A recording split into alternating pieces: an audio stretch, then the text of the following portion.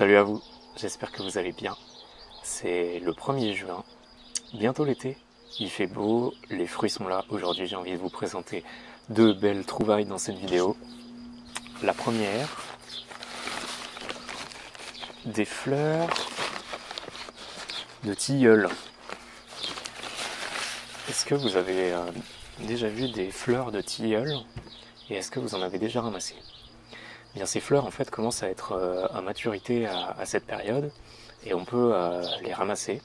Il y a d'ailleurs plein d'insectes qui viennent les butiner, les butiner, prendre le pollen, le nectar qu'il peut y avoir à, l'intérieur.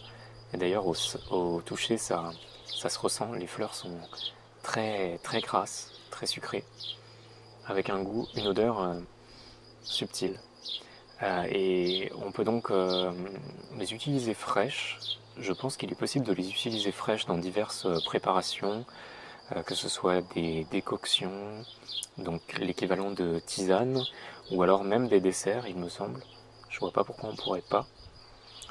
En tout cas, moi ce que je vais en faire là, c'est que je vais les, faire sécher pour ensuite les garder toute l'année et faire des infusions des tisanes, c'est-à-dire les prendre et les mettre dans l'eau bouillante pour ensuite boire la préparation.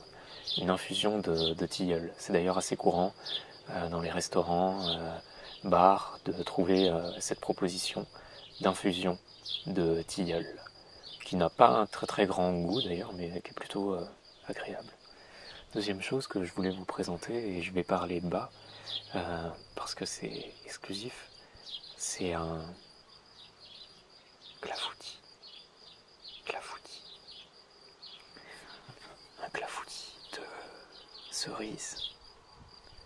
Et euh, c'est la saison en ce moment des, cerises.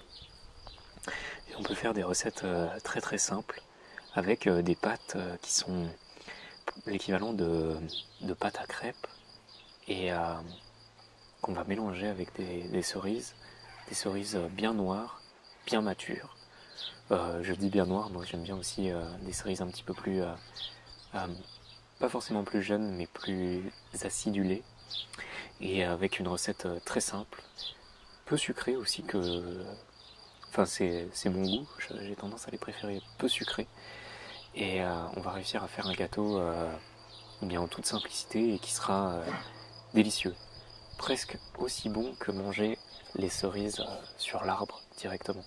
Là, c'est vraiment pour moi, c'est la, la préférence ultime, pouvoir manger les cerises euh, sur l'arbre directement.